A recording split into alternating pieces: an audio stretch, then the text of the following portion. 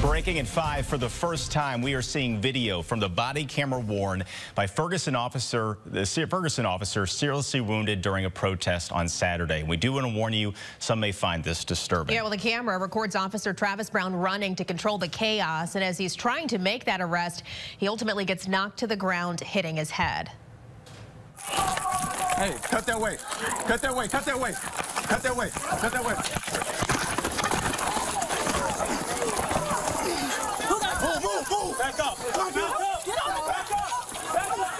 Really chaotic moments here. You can see the officers clearing the area as they work to help Brown. And then a couple minutes later, we see police carrying Brown to get medical help. He's unresponsive at this point, and they're trying to ask him questions. TJ, close that door. TJ, look at me. Look at me. What day is it? Close the door. They get him in the back of that emergency vehicle, close the door. He's then taken to the hospital where at this hour and today, he does still remain in critical condition. More news breaking in this story at this hour. First Alert 4 investigates learning about new charges against Torin Taylor. Ferguson police say during the chaos, he tried to grab an officer's gun and remove it from the holster.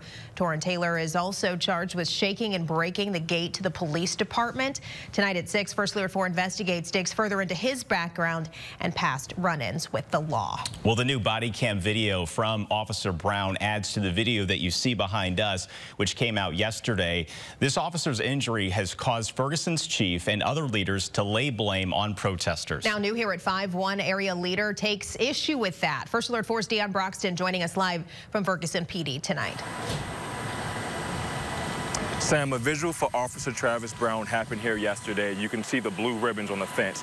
But that body cam footage that you just saw happened right over here at this auto shop. But Ferguson movement leader Rasheed Aldridge says he doesn't want this tragic incident to take away from the progress the movement has seen over the last decade.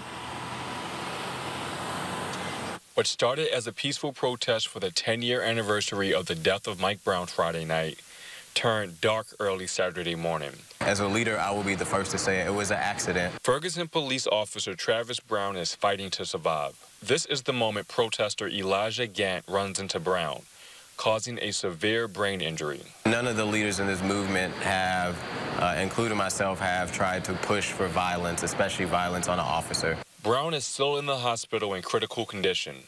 St. Louis Alderman Rasheed Aldridge and U.S. Congresswoman Cori Bush took to social media to address the situation. Two politicians who gained notoriety during the Ferguson movement in 2014. But their sympathies came after Ferguson Police Chief Troy Doyle seemingly called them out Tuesday. Those of you, and I think you know who you are, that are in leadership roles in this region have talked about, got a lot of FaceTime, talking about the anniversary of this coming up.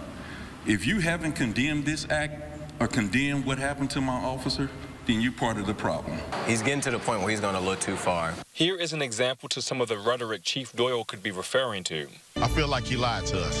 He never brought charges against the killer. I'm Cori Bush, and I approve this message. A Cori Bush commercial of Mike Brown Sr. calling out her then opponent, Wesley Bell. That commercial had no direct ties to um, what happened over the weekend. I think that was a commercial that um, was necessary. Aldridge says this bad incident shouldn't take away from the decades of change that came from the Ferguson movement. Now it seems as if you're trying to villainize the protest movement.